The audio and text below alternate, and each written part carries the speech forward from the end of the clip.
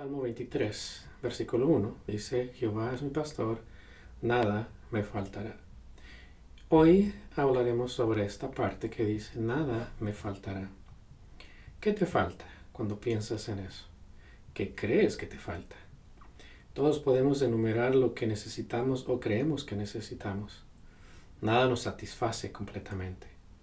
Y la verdad es que no es posible que nada ni nadie nos satisfaga completamente no es humanamente posible.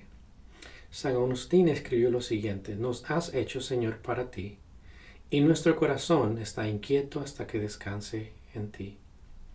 Es una verdad acertada. Esta verdad es muy clara en este salmo, el Salmo 23. Solo el Señor es nuestro pastor y suple todo lo que nos falta, llena todo lo que me falta. Él suple todas las áreas de mi vida y en orden de prioridad, estas son las áreas que Él llena completamente. Uno, espiritualmente estoy completo. ¿Qué significa esto? Esto quiere decir que Él nos da todo para vivir la vida cristiana sin nosotros hacer nada. Lo que quiere decir es que tenemos todos los recursos espiritualmente para vivir para Cristo. En Cristo estamos completos.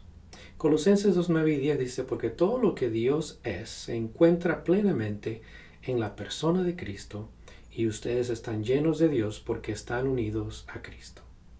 La condición para recibir la llenura de Cristo es nuestra vida, o en nuestra vida es permanecer en Él en todo momento. Eso es espiritualmente, pero mentalmente también estamos completos. Conocerle a Él es conocer y poseer la vida eterna. Él dijo lo siguiente, y esta es la vida eterna, que te conozcan a ti, el único Dios verdadero, y a Jesucristo a quien has enviado. Conocerle es conocer al Dios infinito. Ningún conocimiento o inteligencia es superior porque todo lo que conocemos en nuestro mundo es limitado y temporal. El conocimiento del Dios Santo es permanente. Además tenemos la mente de Cristo. 1 Corintios 2.16 dice, nosotros tenemos la mente de Cristo. Nada nos falta mentalmente. El conocimiento de Cristo es mejor o es el mejor recurso mental es un recurso inagotable. Es obvio que requiere un esfuerzo nuestro por conocerle más. Su palabra, la Biblia, nos ofrece una fuente inagotable para conocerle. Tercero, tenemos también eh, una eh, completa eh, satisfacción emocional con Él. Es más, tenemos todas las virtudes de Dios a nuestra disposición.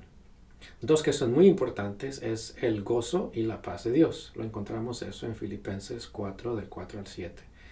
El gozo trasciende las circunstancias porque viene de Dios mismo.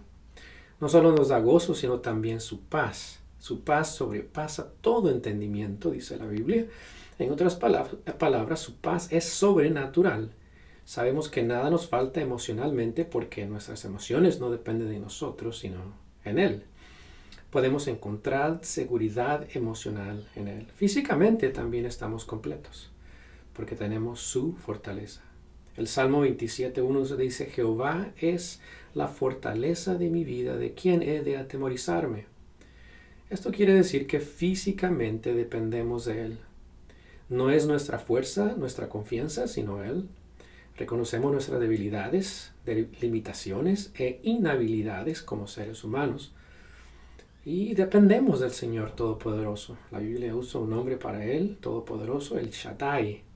Él nos cuida y también nos protege en todo tiempo. Eso lo encontramos en el Salmo 121. Materialmente nada me falta tampoco. Tengo los recursos del Señor para suplir mis necesidades. Esto no quiere decir que viviremos una vida fluente o que nunca experimentaremos necesidades materiales.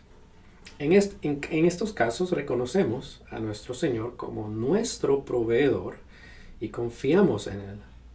El estar bien materialmente o aún físicamente no es una promesa para nosotros en esta tierra. Experimentaremos los valles tenebrosos, como miraremos en el Salmo más adelante, pero sabemos que Él está con nosotros.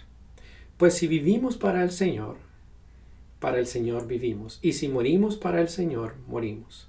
Así pues, sea que vivamos o que muramos, del Señor somos, dice Romanos 14, 8. Esto no cambiará jamás. Él es nuestro Señor, nuestro pastor, y nada nos faltará.